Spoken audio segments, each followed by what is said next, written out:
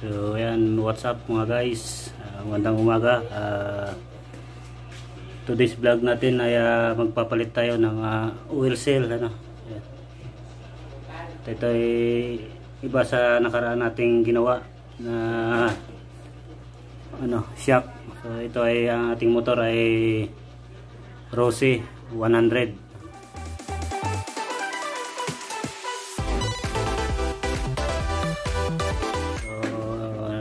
Ayan guys uh, tatagas na no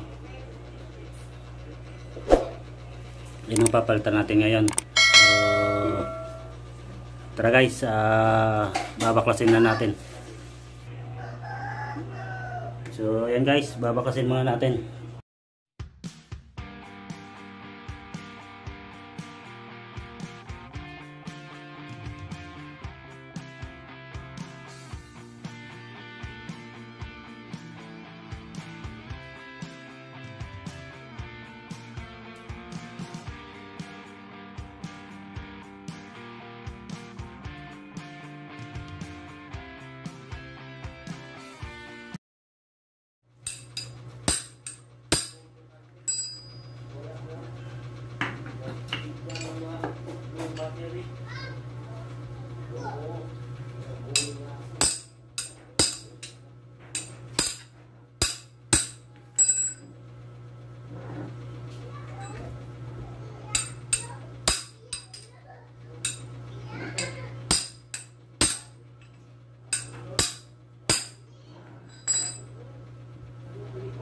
mga guys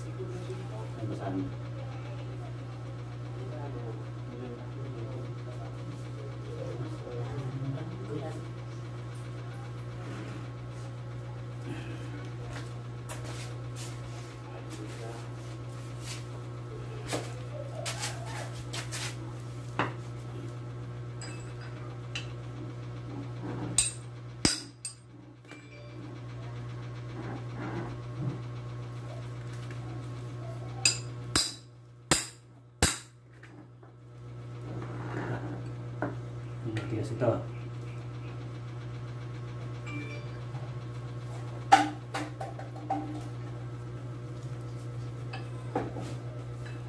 Tignan muna natin guys ano. Yan.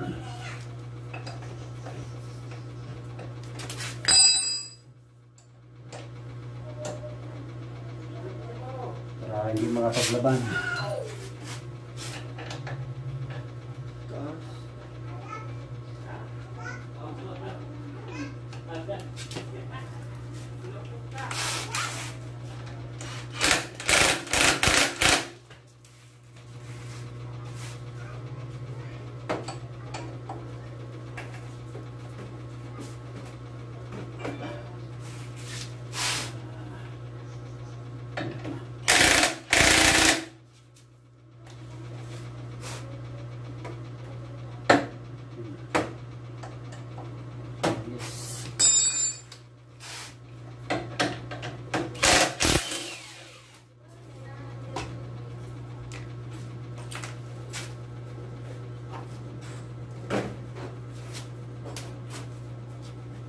So, napakwas na natin ano.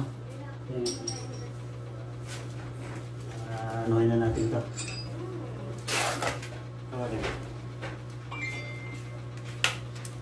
Guys, uh, bakasin muna natin to.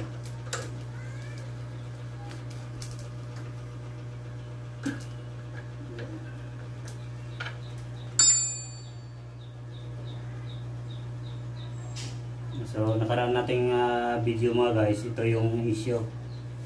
So ito kahit uh, lumuwag yung uh, o-ring niya, walang problema kasi naka-thread siya no. Dito lahat ng sa Mio.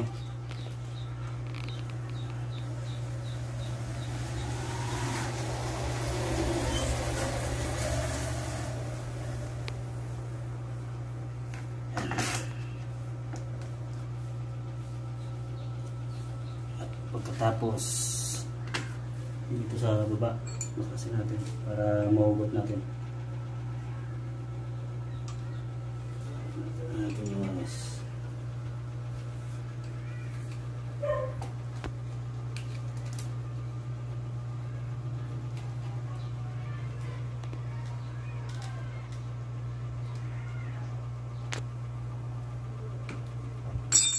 Mas madali ito guys kaysa Mio.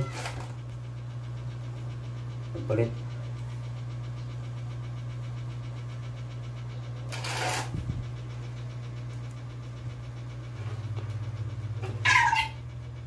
Ayan.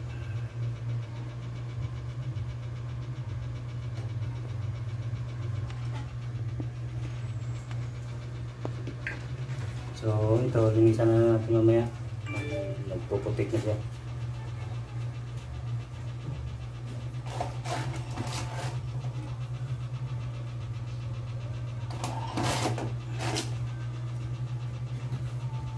So, tanggalin muna natin lahat.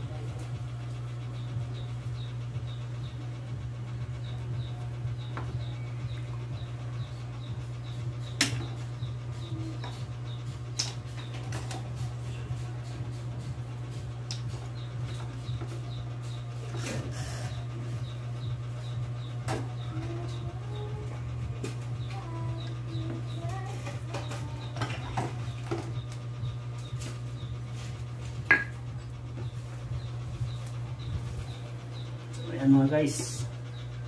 So, bakasin muna natin itong uh, ano niya, oring.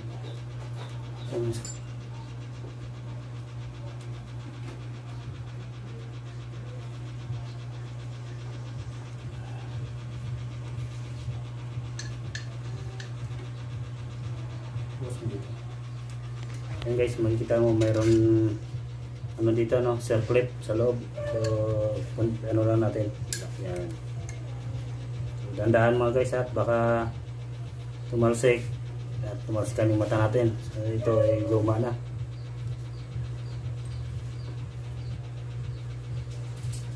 So matigas na masyado.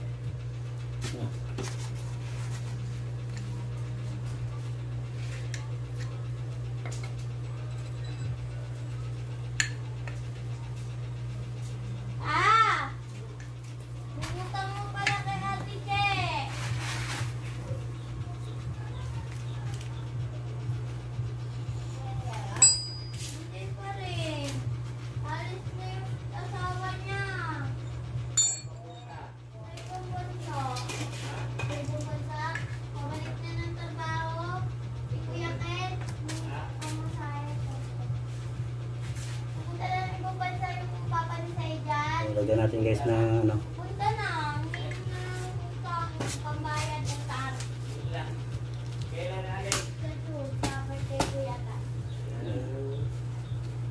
So unti-unti na natin mga guys kabila. Na na. Ako.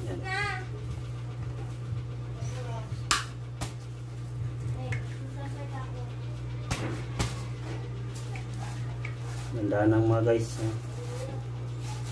Ay unti-unti naman yan naakyat pataas.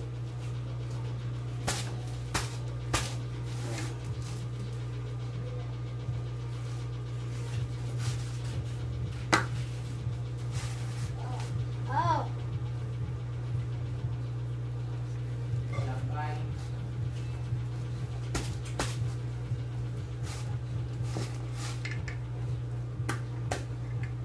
Yan.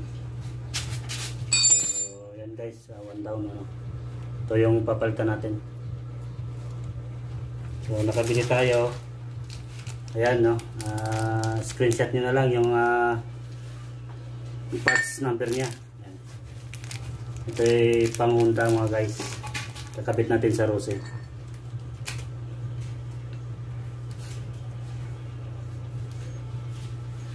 Ah, Tabi muna natin to at ah, uhugasan natin.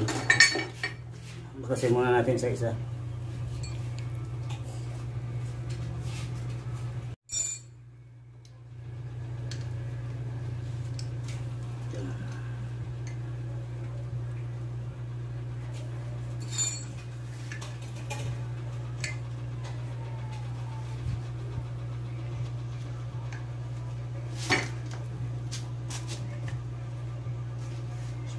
Guys, ah, same procedure lang.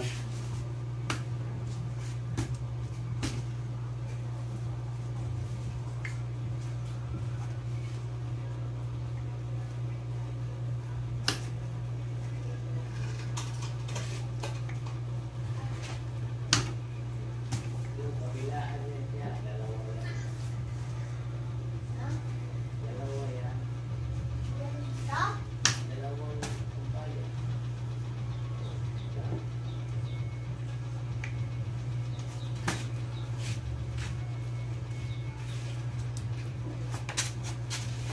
So, ayan guys, nalala natin. Ingatan natin to guys, ma ma tamaan, no? Bali kunti-kunti lang. Pag sobra. So, ayan. So, uhugas muna tayo mga guys. So, ayan mga guys. ah nalinisan na natin, ano? So, kakabit na lang natin tong ating mga ah, ipapalit. Bumili tayo ng dalawang uh, oil seal at dalawang ah, dust cover. No? Yan. So, malabo yung at. So, ayan. ah, meron nga pala akong ano sa inyo guys. No? Na pag nag-lower tayo, pwede tayo gumawa dito. No? Itong ah, spring na ito, pwede natin dagdagan ng mahaba dito. Hindi kaya dublihin natin. Yan. Dublihin natin tapos pasok natin dito, guys. Yan. Kasi yung stock nito, ganyan lang siya. No? Pag pinasok natin doon, naikli siya ng konti. So pag dinubli natin to, mga guys, yan. So, pag dinobli natin, ang lalabas na lang dito sa ano niya ay ganyan na lang guys. Yan. Di tulad ng may origin na isang spring lang. Ganyan siya kahaba, no? So, pasensya na kayo sa ating mga maingay dyan sa tabi-tabi. No? So, Ayan mga guys, manalinis na natin at ah, kakabit na natin ang dapat ikabit. So ayan guys, ah, kakabit na natin to.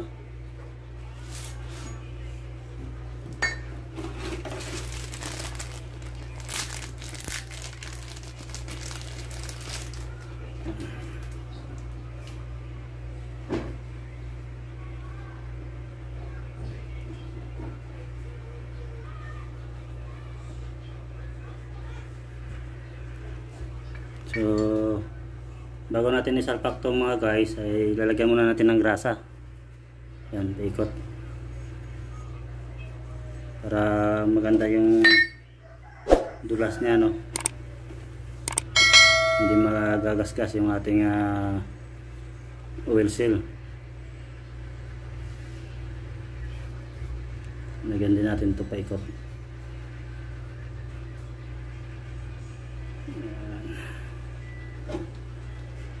Tapos sasalpak na natin mga guys.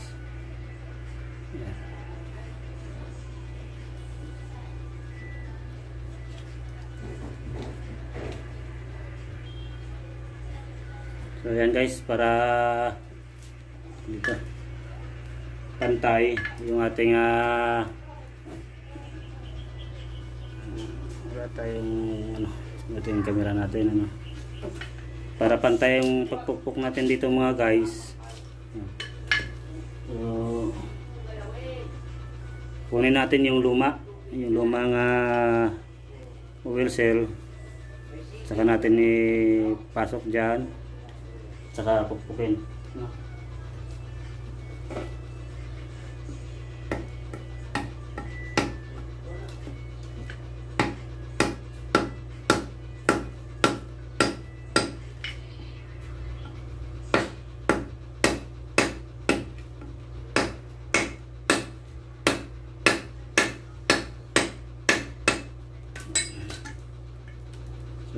Natin mga guys kung uh, fit na dito sa ilalim. Yan. So, okay na mga guys. Fit na fit na. Saka natin punasan ng konti. Yan.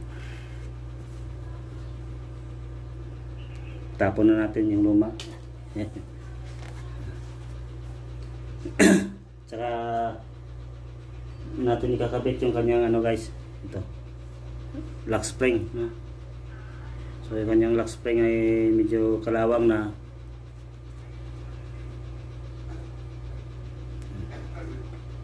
May gitlaan dyan guys sa loob. Kailangan na yung lock spring natin ay fit dyan. Para yung ating uh, oil seal uh, hindi lalabas. No? Siya ang pipigil sa ating oil seal. Yan. Tutunog naman yan guys. Ayan, tingnan nyo. Yan. So punasan natin para walang alikabok. Bago natin ilagay itong ano, itong bagong dust seal niya. Yan.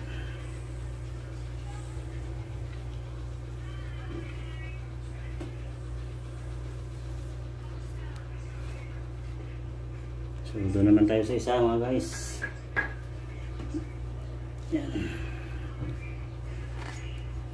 Same procedure lang mga guys. Langis, uh, grasa. Tapos yung ating bagong oil seal. Grasa din sa gilid mga guys.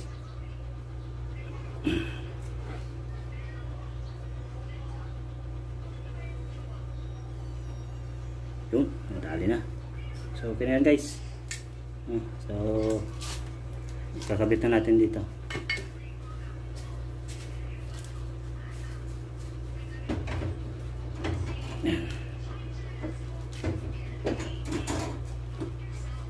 Ang same procedure pa rin mga guys, pukpuk. Ah.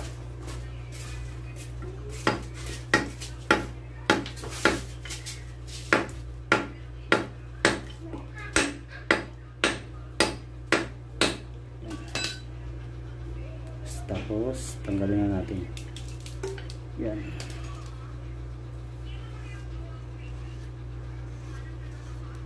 Double check natin ulit. Yan.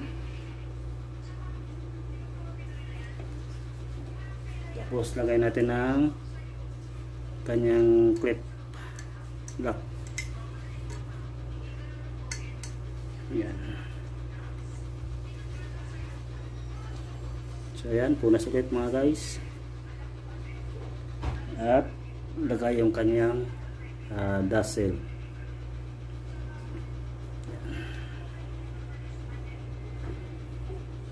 So ganyan lang kasimple mga guys.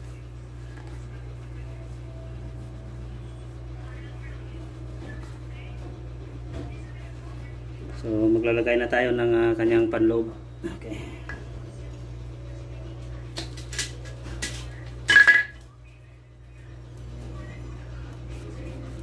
So, linisan natin to. No? Tapos lagay yung spring. Yan. Pagkatapos, uh, lagay natin dito sa kanyang uh, inner tube. Punasan natin maigi. So, lagay natin guys.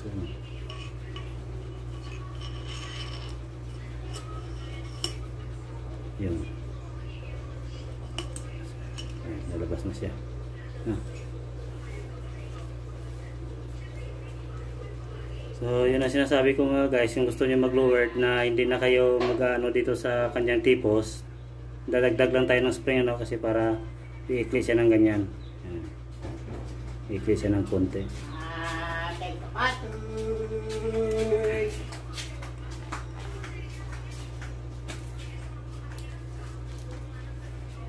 So, pagkatapos mga guys, balik na natin dito, no? Pala. Lagyan pala natin ng uh, kunting grasa ang ah, ating uh, oil seal para hindi magagasgas.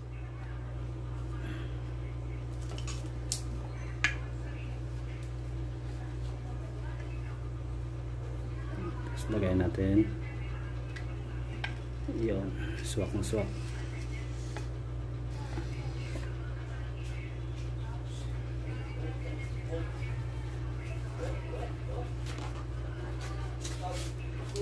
Tapos itong kanyang ah, bolt sa ilalim mga guys, huwag ka natin kalimutan. Ha. Yun.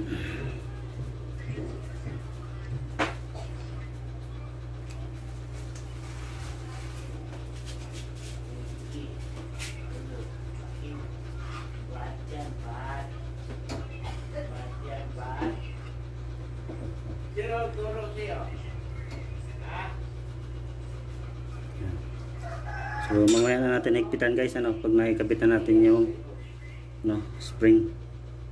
Hindi kaya kabit natin yung spring.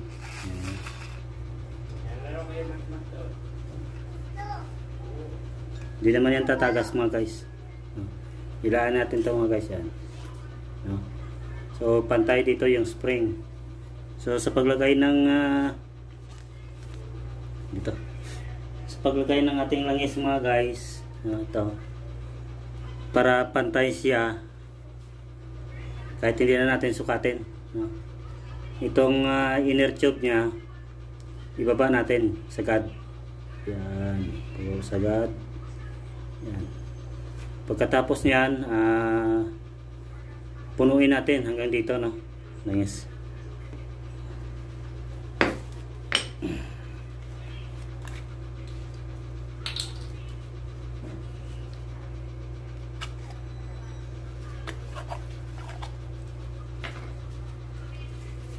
Ayan. Tayo lang natin guys, mga ganyan. Tapos, ganyan lang konti. Ayun nga pala guys. Yung spring wag natin kalimutan ano. Yung dikit-dikit na spiral sa baba yan mga guys. Wag natin baliktarin ng ganyan. So kailangan nakaganito yan. Okay? So maglagay na tayo ng ating langis.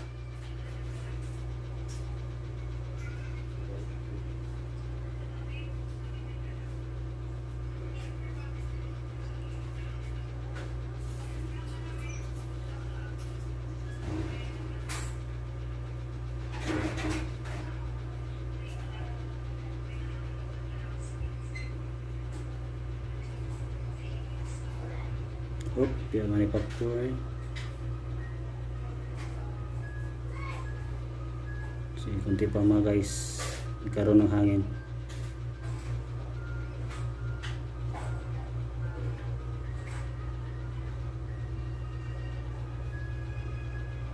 Yan. So, ayan mga guys. Kita nyo naman ano. Yan. Ang kanyang ah, pork oil ay sakto lang sa bunganga. Pagkatapos, yan, punasan muna natin. Yan, para malinis. Pagkatapos yan mga guys, saka natin hilain pataas. Yan. Bumbay natin mga guys para yung hangin lalabas. Yan. Yan. So, okay na yan mga guys. Mga boss, amo. Yan. So, saka na natin to kakabit. So, tulad nga ng isang vlog natin mga guys, yung sa Mio 125, ano, ito yung issue. Yung o-ring na ito. Kasi clip lang siya, ito naka-thread. So hindi masyado ito nasising, nasingaw.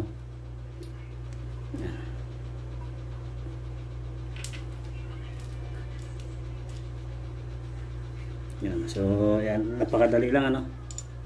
Hindi tulad ng uh, Mio natin, mabigat.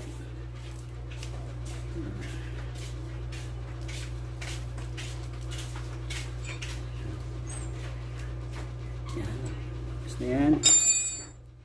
Tapos, ito rin natin.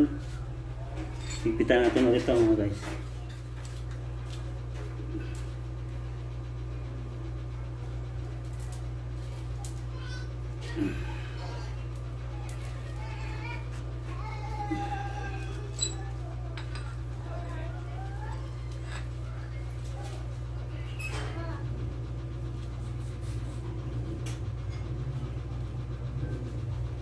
Yan, ayos na yan.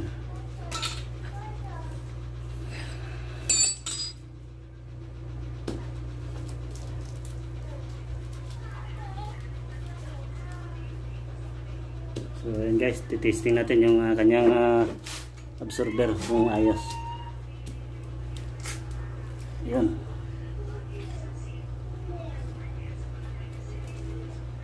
So maganda yung ano, kanyang ano mga guys kanyang palo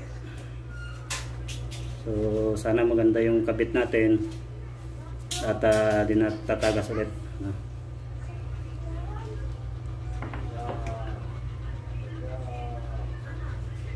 so ayan guys yung procedure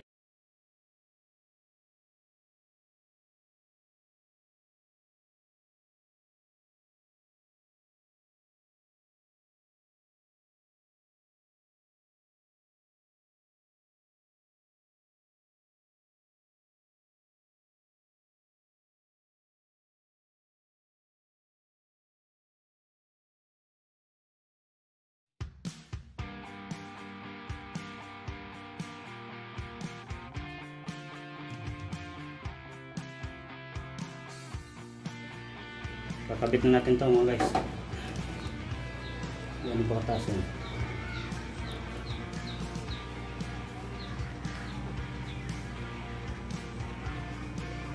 kalimutan natin kanina guys kung uh, gaano kataas yung kanyang uh, mirror no?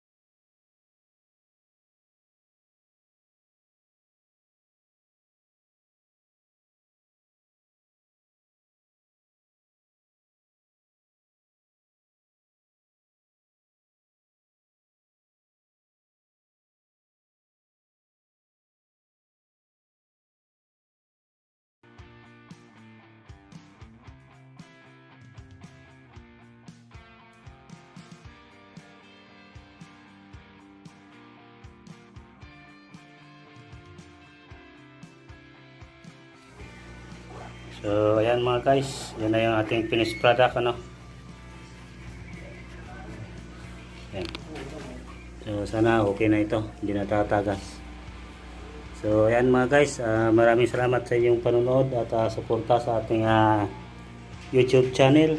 At ah, kung mayroon kayong ah, natututunan sa ating ah, content ngayon na uh, lang kami ng konting ah, inyong suporta paki pindot na lang yung ating ah, subscribe button at saka like and share na lang mga guys. So maraming salamat ulit sa inyong suporta. God bless